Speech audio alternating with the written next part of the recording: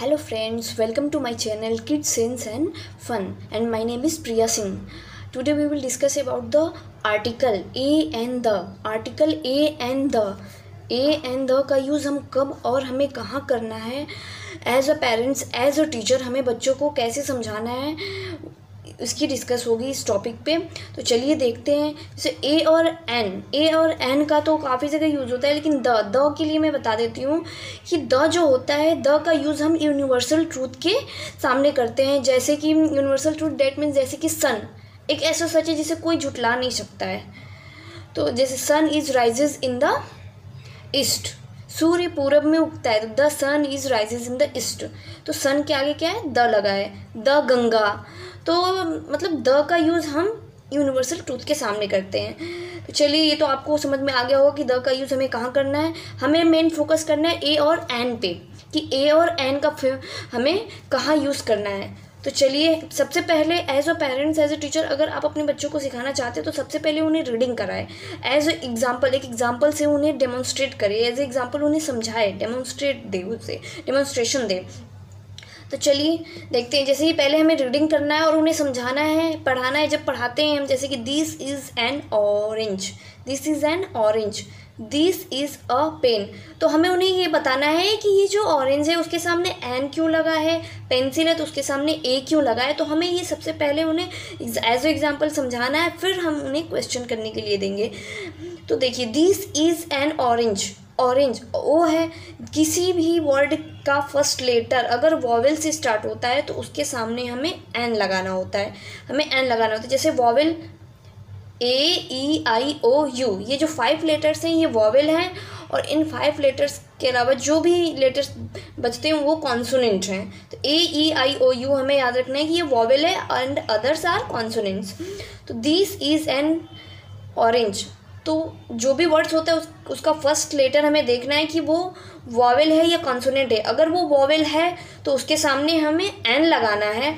अगर अगर कोई वर्ड है और उसका फ़र्स्ट लेटर अगर कॉन्सोनेंट है तो उसके सामने हमें ए लगाना है। जैसे कि आप देख सकते हो ऑरेंज ऑरेंज का फ़र्स्ट लेटर ओ है यानी ये वॉवेल है तो उसके सामने एन लगा है। और पेंसिल का फ़र्स्ट लेटर क्या है? पी है यानी ये कॉन्सोनेंट है तो इस का इसके सामने ए लगा है तो हमें बच्चों को इसी तरीके से समझाना है। फिर this is an insect insect में भी पहला लेटर जो है, वो आई है, जो वॉवेल है तो एन लगा है। This is this is an umbrella umbrella में भी पहला लेटर वॉवेल है तो एन है। This is a fish this is a fish पहला लेटर कॉन्सोनेंट है फ़िश में तो ए लगा है उसके सामने। बट हाँ कुछ अपवाद है जिसे हम बोलते हैं। जैसे कि देख सकते हैं, जैसे कि ये देख सकते हैं आवर हम लिखते तो हावर हैं H O U R hour but हम जब उसे उच्चारण करते हैं, जब हम बोलते हैं तो आवर बोलते हैं। यहाँ पे जो ये एच है, ये एच साइलेंट होता है। क्या होता है? ये एच साइलेंट होता है और हम उसे आवर पढ़ते हैं। तो जब हम उच्चारण कर रहे हैं आवर तो ये वॉवेल आ रहा है आवर आवर आ रहा है ना वॉवल आ रहा है वॉवल साउंड आ रहा है। जब अगर किसी वर्ड के शाम वर्ड का पहला लेटर वॉवेल हो, तब भी एन लगाना है।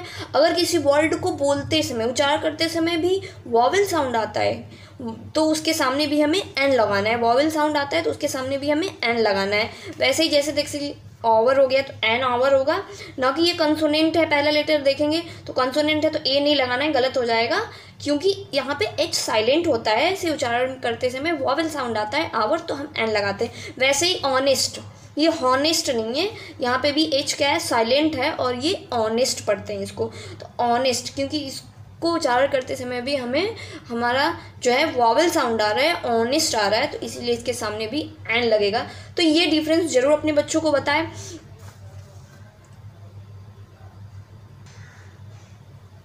हाँ जैसे कि आप देख सकते हैं ए एन और ए और एन एन की स्पेलिंग और ए तो पता ही होगा इजी है। तो ये याद करा दे सबसे पहले बच्चों को और फिर उन्हें प्रैक्टिस के लिए कुछ क्वेश्चन दे एज लाइक डेट इसकी तरह। तो फिर जैसे आप देखेंगे इंजीनियर इंजीनियर वर्ड है। तो इंजीनियर के सामने इंजीनियर का फ़र्स्ट लेटर देखेंगे सॉरी इंजीनियर का फ़र्स्ट लेटर देखेंगे क्या है? ई e है, यानी वॉवेल है। तो एन लगेगा, वैसे ही ऑरेंज है, वैसे ही होम है। लेकिन यहाँ देखिए होम है एच है और ओ है। तो यहाँ एच साइलेंट नहीं है। यहाँ जब हम प्रोनाउंस करते हैं, जब हम बोलते हैं तो वॉवल साउंड नहीं आ रहा है। होम कॉन्सोनेंट आ रहा है तो एच है। तो इसके सामने हम ए ही लगाएँगे। तो ऐसे ही हमें कुछ क्वेश्चन बच्चों को देना है उन्हें प्रैक्टिस के लिए और उनका प्रैक्टिस करने के लिए उन्हें देना और इसे सॉल्व करेंगे बच्चे। तो इस तरीके से हमें उन्हें वर्कशीट देना है। Thank you for watching my channel अगर मेरे चैनल पे आप न्यू हैं तो please like and subscribe my channel